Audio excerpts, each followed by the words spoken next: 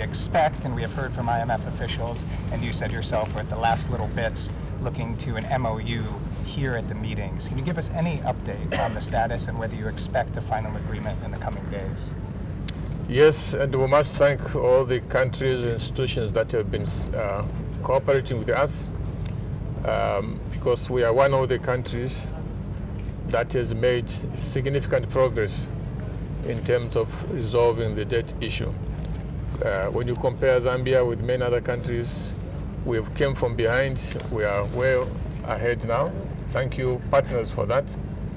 Uh, yes, we uh, came to an agreement in June, and uh, we are hoping that uh, uh, we'll sign the memorandum of understanding um, soon. I cannot give you a date because uh, it's not possible for me to do that, but we are hopeful that it will happen.